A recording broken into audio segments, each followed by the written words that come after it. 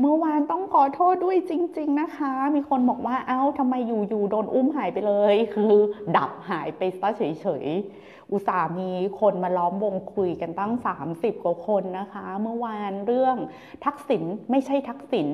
ไม่ต้องงง เข้าใจปะ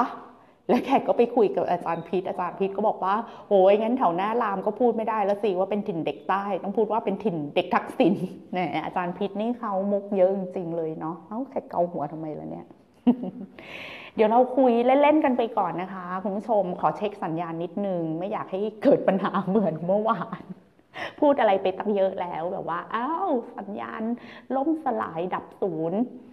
วันนี้เราคุยกันหลายเรื่องเลยค่ะ ความคืบหน้าของข่าวนะคะ ก็คือ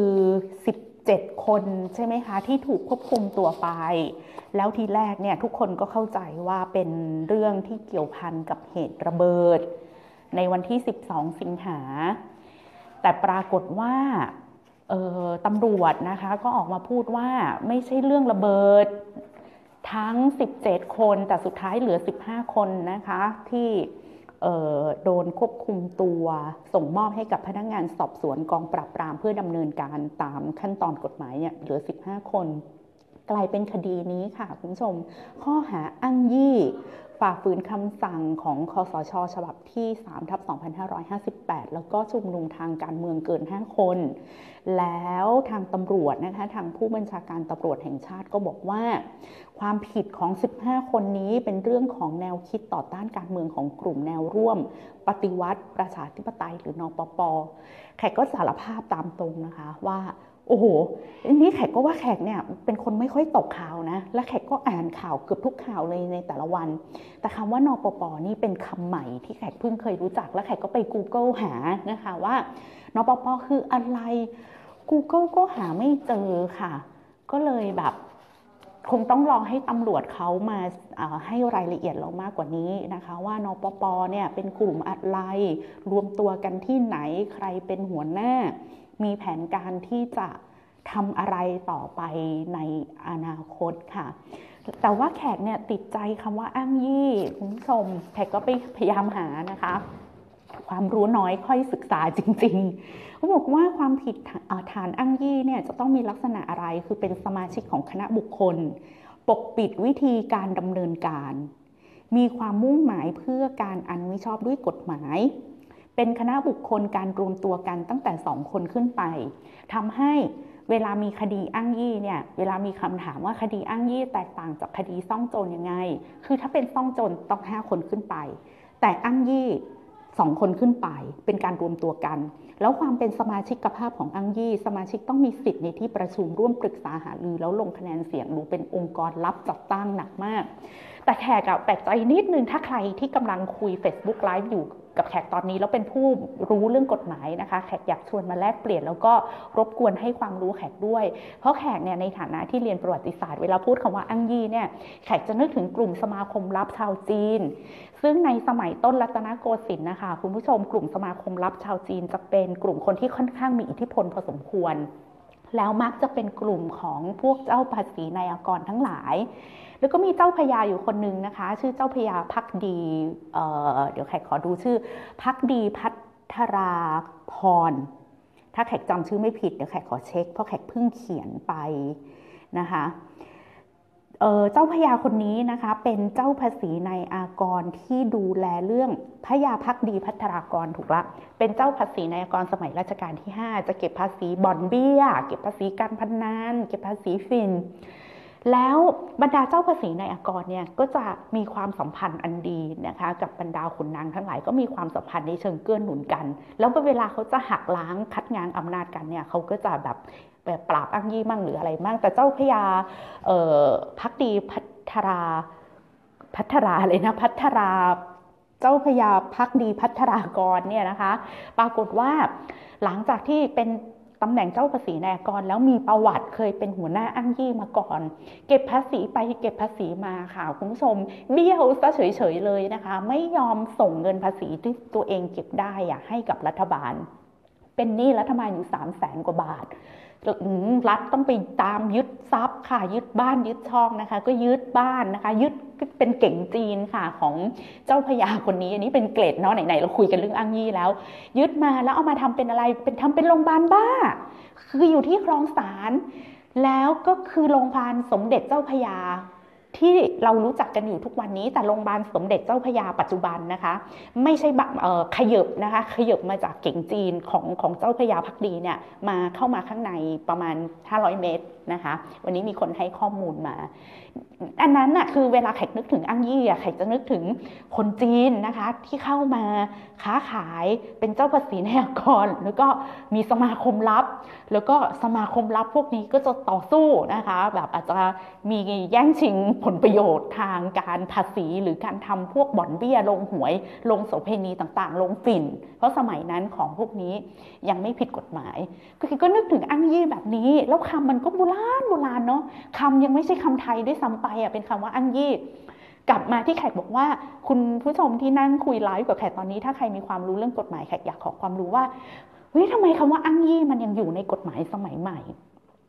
แล้วเวลาเราพูดคำว่า โดนข้อหาอังยี่เนี่ย มันไม่ใช่มีเฉพาะคนพวกนี้นะคะ แขกเข้าใจว่ามีมีคนโดนคดีนี้ประมาณหนึ่งอะล่าเออที่แขกอ่านนะคะ มีอดีตนายกเทศมนตรีของจังหวัดทางภาคใต้ ชื่ออะไรแขกจำไม่ได้แล้ว ก็เจอข้อหาอังยีเหมือนกัน แขกก็เลยอยากรู้อยากรู้อันนี้อันนี้อยากรู้จริง ๆ เลยอะว่า คนที่โดนข้อหาอังยีที่ผ่านๆมาเนี่ยมีใครบ้างแล้วเขาประกอบกิจการหรือประกอบกิจกรรมอะไรนะคะ จึงจะเข้าข่าย ความเป็นอั้งยี่ค่ะ คุณผู้ชมไหมคะว่าเพราะว่าพอทำตั้งแต่พศ 2499 499 มันก็ไม่ได้เก่ามากนะ ไม่เก่ามาก ไม่เก่ามากเพราะปีนี้มัน 2,506 559 อะ เก่าไหม มันก็แค่ 50 58ปีเท่านั้นเอง นึกถึงยุคอันดาพานคลองเมือง ยุคอันดาพานคลองเมือง2499แต่อั้งยี่เออพี่จะเอออั้งยี่มันมีมาตั้งแต่ต้นรัตนโกสินทร์ มีมาตั้งแต่สมัยรัตนโกสินทร์แล้วเออสมัยนี้มัน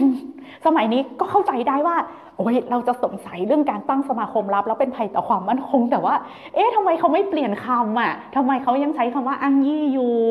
เพราะว่าคำมันเป็นภาษาจีน ภาษาจีนน่ะเนาะในในในในมุมมองเชิงวัฒนธรรมอะค่ะมันก็น่าสนใจเหมือนกันว่า เออทำไมคำว่าอังยี่เนี่ย มันถูกเก็บไว้ในในกฎหมาย ก็เข้าใจว่าเป็นอันธพาลของเมืองอะไรเงี้ยแล้วเออใครก็เข้าไปดูนะคะเขาบอกมันมันจะมีข้อสอบเยอะเลยอะเวลาเขาอ่านดีกาเก่าๆว่า ถ้าเป็นเด็กแว้นมารวมตัวกันแข่งรถ จะเข้าข่ายซ่องโจรหรือจะเข้าข่ายอั้งยี่อะไรอย่างเงี้ยค่ะ ก็ต้องติดตามกันต่อไปนะคะว่า 15 คนที่ส่งถูกมอบตัวให้กับตำรวจกองปราบนะคะเเราจะได้รายละเอียดมากกว่านี้ไหมว่า สิ่งที่เขาทำเนี่ยมันคืออะไรกันแน่ที่ที่ทำให้เขาต้อง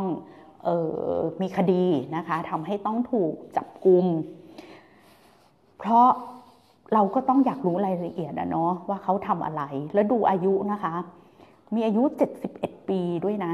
คืออายุค่อนข้างเยอะ มีอายุ 67 อายุ 71 ถึง 2 คนค่ะ มีอายุ 59 แต่แค่คิดว่าข้อมูลที่คมชัดลึกทำไว้ก็น่าสนใจ เพราะว่า กลุ่มแรกเนี่ยคงชัดลึกเขาจัดไว้เป็นกลุ่มนักทฤษฎีภาคใต้ อย่างกรณีของคุณประพาสโรจนพิทักษ์เนี่ยเขาบอกว่าเป็นสิทธิ์ของประเสริฐทรัพย์สุนทร อดีตกรรมการกลางพรรคคอมมิวนิสต์แห่งประเทศไทย แล้วก็เป็นนักเคลื่อนไหวการเมืองภาคประชาชนในพื้นที่ตรังพัทลุงสตูลแล้วก็บอกว่ามีการอย่างดับตรีสิริรัตน์นะคะ อ้างอิงจากคมชัดลึกอะบอกว่า เป็นแดงอุดมการที่มีการเคลื่อนไหวจัดตั้งและให้การศึกษาทางทฤษฎีการเมืองหูฟังดูแล้วแบบเออตื่นตาตื่นใจเหมือนกันนะคะคุณผู้ชมแขกก็เราเราก็ไม่เคยได้ยินเรื่องพวกนี้มาก่อน เพื่อเพื่อความแฟร์นะคะ เราก็คงต้องรอรายละเอียดไม่สามารถพูด ไม่สามารถจะไม่รู้จะวิจารณ์อย่างไร สิ่งที่เราหวังว่าจะได้เห็นนะคะ ก็หวังว่าผู้ต้องหาทั้ง 15 คนเนี่ย จะได้สู้คดีนะคะพิสูจน์ความบริสุทธิ์ของตัวเองในกระบวนการยุติธรรม อย่างที่มันควรจะเป็น ทีนี้อีกเรื่องหนึ่งที่แขกกีบยกขึ้นมาพูดนะคะ เพราะว่าหลังจากที่มันเกิดเหตุระเบิด แล้วก็มีการจับกลุ่มตัวนะคะอะล่าสุดคุณศักรินใช่ไหมคะที่เป็นคนสันกำแพงได้รับการปล่อยตัวแล้วนะคะ โดยไม่มีความผิดอย่างสิ้นเชิงค่ะ ข่าวลงมติชนวันนี้ แต่ ก่อนหน้านี้อะค่ะ ก็มีการโพสต์แบบโพสต์ไปเยอะมากอะส่งข้อมูลนี้ไปเยอะมากว่าคนนี้คือมือวางระเบิดเห็นไหมเป็นคนสันกำแพงเห็นไหมต้องเกี่ยวข้องกับทักษิณนี่มันเป็นคือไข่ทักษิณที่มาก่อความวุ่นวายพวกนี้มันไม่รักชาติบ้านเมืองแบบเยอะมากเลยอะค่ะ แล้วสุดท้ายแล้วทีนี้พอตำรวจสอบสวนอะไรเสร็จเอาไม่พบว่าเขามีความผิดถูกปล่อยตัวไปแล้ว แต่ไอ้กระแสความเกลียดชังอะค่ะ กระแสความที่เรารู้สึกว่า แหมมันเข้าทางเราเลยอะที่เรามีคนที่เราเกลียดอยู่ในใจ แล้วถ้ามันมีข้อมูลอะไรที่เข้าทางเราไอ้ความเกลียดชังเหล่านั้นน่ะมันถูกส่งผ่านไปในโลกออนไลน์อย่างรวดเร็วนะคะ แล้วสมมุติว่ามันมีคนน่ะที่ส่งผ่านข้อมูลผิดๆเหล่านี้ไปแล้วอะต่อให้มันมีความจริงโผล่ขึ้นมานะคะ บอกว่าโอเคนะ หนังสือพิมพ์วันนี้ลงข่าวแล้วนะ ว่าเขาไม่มีความผิด คนที่เคยไปโพสต์นะคะปลักปลามเขาว่าเขาคือมือระเบิดเนี่ยแขกไม่แน่ใจว่าคนเหล่านั้นน่ะไปแก้ไขข้อมูลตัวเองหรือเปล่า ไปยอมรับผิดหรือเปล่า ไปขอโทษหรือเปล่า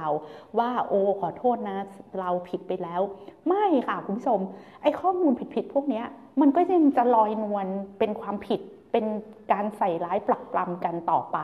แล้วคนก็จะอยู่กับ ภาพจำอันแรกว่า โอเค ฉันมีภาพจำอันนี้ละว่า คนพวกนี้มันเป็นพวกไม่รักชาติ คนพวกนี้มันเป็นพวกที่อยากเห็นความเสียหายเกิดขึ้นกับเพื่อนร่วมชาติ แล้วก็จะพูดซ้ำๆๆ ๆ ไปแบบนี้ แล้วถ้าคุณผู้ชมสังเกตนะคะ เวลาเราเข้าไปอ่านคอมเมนต์หรืออะไรต่างๆเนี่ยสิ่งที่น่ากลัวของการเมืองแบบแบ่งขั้วก็คือว่าคนใช้สติกันน้อยลง คนใช้เหตุผลกันน้อยลง แล้วก็เอาอารมณ์นำหน้า ไม่ว่าเขาจะขึ้นต้นนะคะโพสต์ในใน a c e b o o k เนี่ยเขาขึ้นต้นมาข่าวข่าวหนึ่งเนี่ยค่ะคุณผู้ชมพอลงไปดูคอมเมนต์ข่าวไม่อ่านนะคะ ด่าละ แล้วก็ด่าตามมโนตัวเองอะด่าตามความเชื่อของตัวเอง ด่าตามภาพจำที่ตัวเองมีอยู่ในใจ ไม่อ่านข้อมูลไม่ฟังอะไรแล้วทั้งนั้นนะคะเผลอๆมีคำด่าสำเร็จรูปออกมาเตรียมพร้อมจะด่าแล้วด้วยซ้ำนะคะ ด่าเลยเป็นคนที่หนึ่งคนที่สองบางทีเขาโพสต์ข่าวมาเพิ่งโพสต์ได้ 2 นาที ด่ากันไปแล้วอะประมาณ 35 คนน่ะจนแขกรู้สึกว่าโหนี่อ่านข่าวกันเร็วมากเลยค่ะ ถึงด่ากันได้เร็วขนาดนี้ 2 นาทีนี่อ่านจบแล้วเหรอครับบทความนี้ ก็ทำให้ต้องกลับมาพิจารณาเคสหนึ่งนะคะ คือเคสของแกบบี้นี่แหละ ซึ่งเป็นนักยิมนาสติกผิวสีนะคะคนแรกที่ได้เหรียญทองโอลิมปิก ปรากฏว่าเราก็นึกว่า โอ้โห นักกีฬาเหรียญทองเนี่ยต้องได้รับแต่ความชื่นชมสมนัตไม่เลยนะคะ อยู่ๆเธอก็กลายมาเป็นเป้าของความเกลียดชัง ได้ยังไงก็ไม่รู้จนแม่เธอบอกว่าสังคมมันคงมีความเครียดอะมี frustration อะไรบางอย่างอะที่มันคนมันมีความทุกข์อะค่ะอาจจะทุกข์เพราะตกงานทุกข์เพราะสภาพเศรษฐกิจ ทุกข์เพราะว่าความใฝ่ฝันของตัวเองมันไม่เป็นอย่างที่ฝันเอาไว้ ทุกข์เพราะมันชีวิตมันมันไม่ฟูลฟิลอะไรบางอย่าง แล้วไม่รู้จะไประบายความผิดหวังนั้นไว้กับใครนะคะ จะไปนั่งคิดว่าอืมที่เราตกงานหรือว่าที่ธุรกิจเราเจ๊งนี่ หรือว่าที่เราเอ่อเอ่อมีสถานะทางเศรษฐกิจ ไม่ค่อยดี มันเป็นเพราะว่านโยบายเป็นเพราะโครงสร้างเป็นเพราะความเหลื่อมล้ำอะไรหรือเปล่าที่มันเป็นปัญหาที่ซับซ้อนคือไปคิดอย่างนั้นมันยากอะสู้เราหาเหยื่อขึ้นมาสักคนนะคะที่มันเข้าข่าย เข้าข่ายที่เราจะโจมตีได้ง่าย ๆ แล้วเราก็เอาความเอา frustration ทั้งหมดที่เรามีอยู่ในชีวิตนะคะ แล้วก็ไประบายใส่คนนั้นแขกไม่แน่ใจว่าในกรณีของเมืองไทย จะมีคนที่โดนแบบนี้เยอะๆหรือเปล่าคนที่ แม่ของแกบบี้พูดดีมากเลยนะคะ บอกว่าท้ายที่สุดอะแกบบี้เขาก็ยอมรับว่าจริง ๆ แล้วคนที่มาด่าเรื่องผมเรื่องนมหรือเรื่องฉันไม่วางมือไว้บนหน้าอกตอนเพลงชาติอเมริกันขึ้นเนี่ยเขาไม่ได้เกลียดผมฉันเขาไม่ได้เกลียดนมฉันเขาไม่ได้เกลียดสีผิวของฉันหรือเขาไม่ได้เกลียดสิ่งที่ฉันทำหรอกเขาแค่เกลียดฉันอะคือคนเราอะคือเขาเรียกว่าอะไรนะคะ แค่หายใจก็ผิดแล้ว มันมีสำนวนอะไรนะแจนแบบแบบไม่ต้องทำอะไรอะแค่เกิดเป็นเราก็ผิดแล้วอะ คนไม่ใช่ทำอะไรก็ผิดเออมันทำนองนั้นนะคะคุณผู้ชม มันจะมันจะมีคนที่แบบ เออ คนไม่ใช่ทำอะไรก็ผิด เพราะฉะนั้น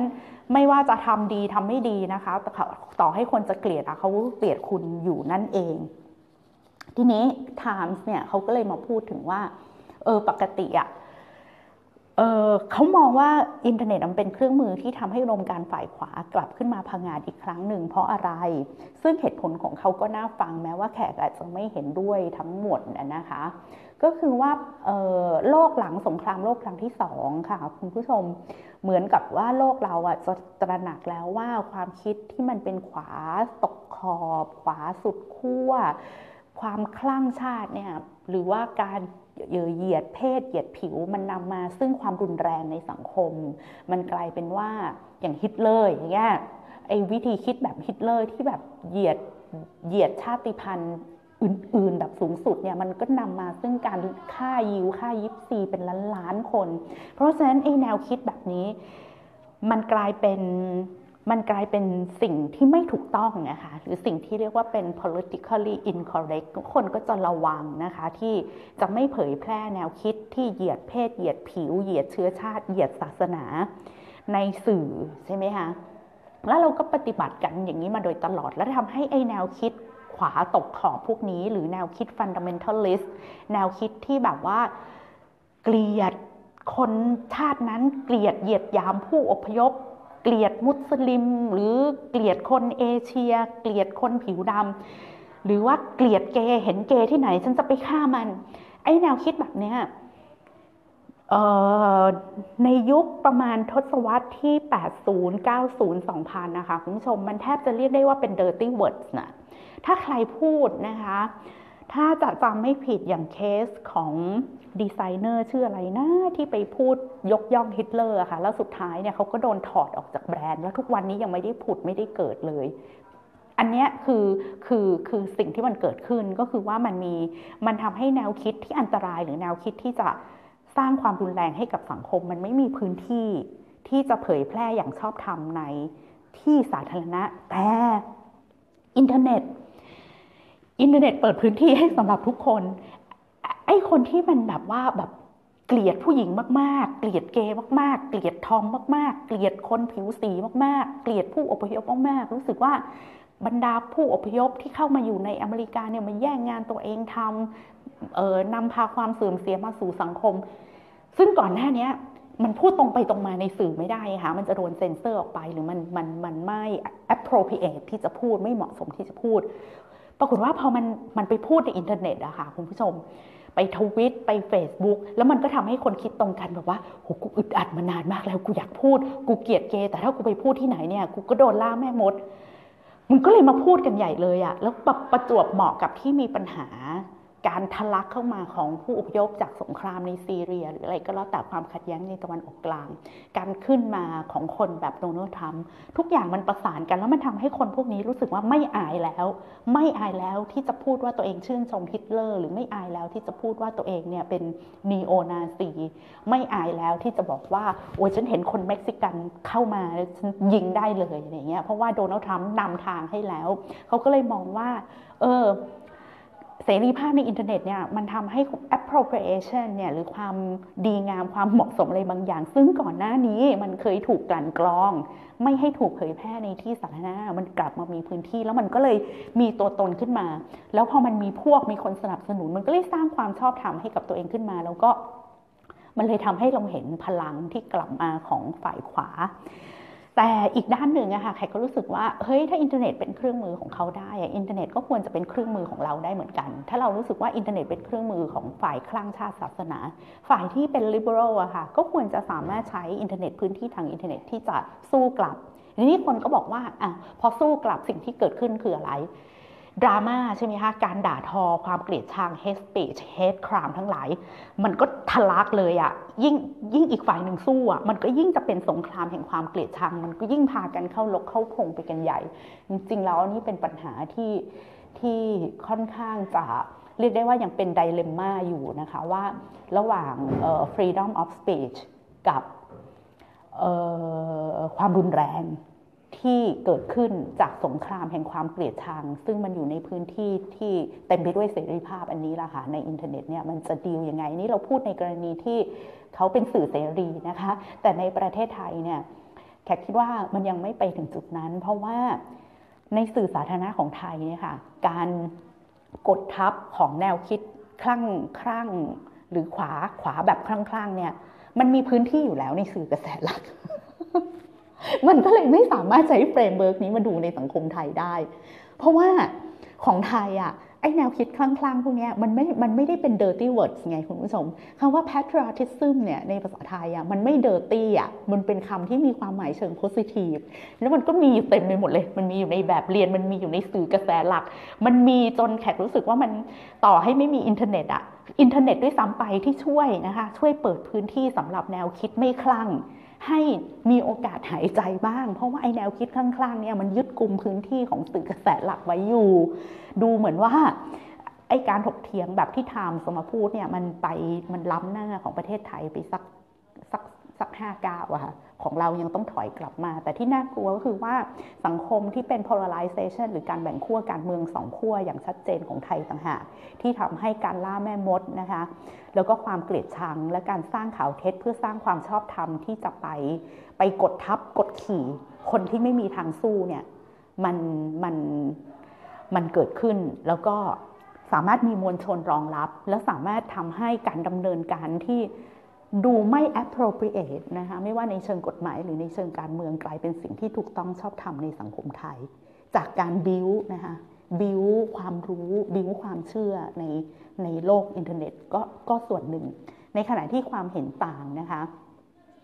กับถูกกดทับอีกแบบหนึ่ง จากกฎหมายที่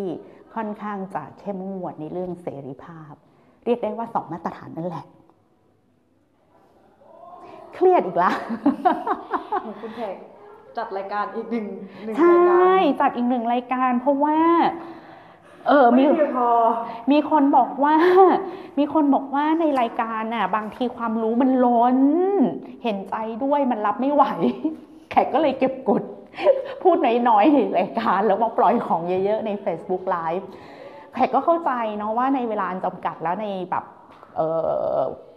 ในแบบทีวีอะค่ะ บางทีเนี่ยแขกมีประเด็น บางเรื่องแขกไม่อยาก simplify อะค่ะคุณผู้ชม simplify คือแขกไม่อยากลดทอนความซับซ้อนของมัน เพราะไม่อย่างนั้นมันจะกลายเป็นเราพูดได้แค่ว่าอันนั้นดีอันนี้ไม่ดี แต่แขกอะอยากพูดมากกว่านั้น อยากพูดว่าไอ้ความซับซ้อนก่อนที่เราจะไปถึงจุดที่ตัดสินว่าอะไรดีหรือมันไม่ดีอะแขกอยากให้เข้าใจหลาย ๆ layer ของมันอะหลาย ๆ ชั้นของมัน ซึ่งไอ้การจะอธิบายหลาย ๆ layer ของแต่ละเรื่องเนี่ย มันยากมากนะคะที่จะไป conceptualize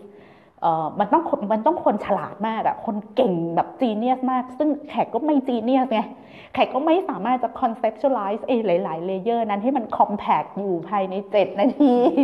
แล้วมันก็เลยกลายเป็นว่าแขกพูดอะไรไม่รู้เยอะแยะไปหมด แล้วคนดูก็แบบว่า โอ๊ยมันไม่ไหวแล้วมันเยอะไป จับต้นส่วนปลายไม่ถูก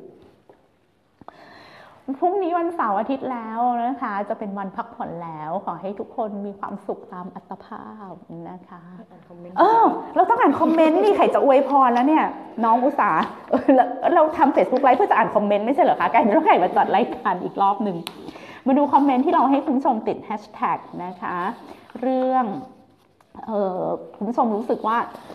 ถ้าไม่ได้ทำอะไรผิดจะกลัวอะไรอ่าคุณผู้ชมคิดยังไงเกี่ยวกับเรื่องนี้นะคะ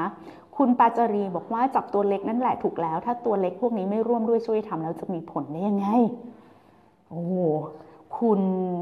เพราโด อ้างว่าสมาชิกพรรคปฏิวัติเพื่อประชาธิปไตยความหมายคุ้นๆช่างคล้องจองกับนปชเดะใครเป็นพวกมัน อันนี้เข้าใจว่ามาจาก Facebook ของ T News คุณพิชิต พอระเบิดเสร็จก็ไปมาเลเซียเราไม่ได้เป็นศัตรูกัน และถ้าคนไประเบิดที่มาเลเซียมากบดานที่ไทยสงสัยมาเลเซียมาโวยแน่ ดูครั้งโจรจีนแถมมาเลเซียมาตั้งถิ่นฐานที่ไทย มาเลเซียทำทุกวิถีทางต้องให้ชนกลุ่มน้อยโจรจีนหมดไปให้ได้ โดยให้ความร่วมมือกับทางการไทย โอ้โห นี่มาเป็นแบบเป็นเรื่องเป็นราว คุณแดงโซดาต้องคารวะทหารกล้า และข้อมูลแสดงกลุ่ม 15 คนนี้โดนจับกลุ่มก่อนหน้านี้ออกหมายจับทีหลัง แผนรับลวงพรางสุดยอดมากๆเนี่ยโหนี่ชื่นชมทหารมากเลยนะคะนี้จากทีนิวคุณพันนีจะว่าไม่คอมเมนต์แต่มันอดไม่ได้อยากเจอตัวแล้วถามพวกเขานะ อยากถามพวกเขาว่าจิตใจทำด้วยอะไร ไม่น่าทำกันขนาดนี้ประเทศชาติประชาชนตาดำๆทำไงได้ รู้จักสามัญสำนึกไม่ไม่รู้จักสำนึกในบุญคุณประเทศชาติเลยหรือ อันนี้ทีนิวส์นะคะอ่านการพอหอมปากหอมคอเพื่อที่จะได้รู้ว่า เขาคิดอย่างไร ในแฟนเพจของ Voice TV ค่ะ คุณสายลมแห่งอิสรภาพ จับโจรตัวจริงไม่ได้ก็ไล่จับคนเห็นต่างแล้วโยงไปทั่ว คุณไพวันต่อไปคงนั่งกินเนื้อย่างเกาหลีเกิน 5 คนไม่ได้ดี๋ยวโดนข้อหาอังยี่ชุมนุมเกิน 5 คนอาที่พม่าสมัยก่อนร้านก๋วยเตี๋ยวเขาจะมีเก้าอี้แค่สิตัวนะคะ เพราะว่าถ้ามี5ตัวแล้วมันจะเข้าขายชุมนุมเกิน5คน คุณเบลเจียมแอันเหมือนกำลังทำ marking stock ไว้เพื่อจับใคร เผื่อจับใครไม่ได้ก็มีสต็อกไว้ ไม่มีอะไรแต่ใจไม่ยอมไม่ผิดจับไม่ได้แค่เป็นผู้ต้องสงสัยสอบสวนแล้วปล่อยห้ามกักขัง การกล่าวโทษผู้อื่นโดยไม่มีความผิดนั้นเข้าขั้น ช่อราชบังหลวง คุณสุภสินเขาตั้งใจจะจับคนพุ่งร้ายต่อประเทศ พวกมือวางระเบิดทั้งหลายหรือเปล่า หรือแค่จับคนที่ต่อต้านรัฐบาล เอ่อ คุณกริธรรมตอนนี้อะไรก็เสื้อแดงอ้างยี่ซ่องโจรเหมือนคอมมิวนิสต์ยุคสมัยหนึ่งหรือเปล่าอ่านี่ก็เป็นความเห็นของคุณผู้ชมนะคะ คร่าวๆ พอหอมปากหอมคอ จะได้มีวันหยุดกันสักที ขอให้มีความสุขตามอัตภาพนะคะ แล้วก็โปรดเเสพข้อมูลข่าวสารโดยเฉพาะในอินเทอร์เน็ตนะคะ อย่างมีสติ เราเตือนคนอื่นแล้วก็อย่าลืมเตือนตัวเองนะคะว่าเราจะไม่เพิ่มความเกลียดชังลงไปในพื้นที่นี้ แล้วขอให้พื้นที่อินเทอร์เน็ตนะคะ โดยไม่มีการเซ็นเซอร์เนี่ยเป็นที่ที่สติปัญญาของเราได้หายใจ วันนี้แขกขอลาคุณผู้ชมไปก่อนนะคะ แล้วพบกันใหม่วันจันทร์สวัสดีค่ะ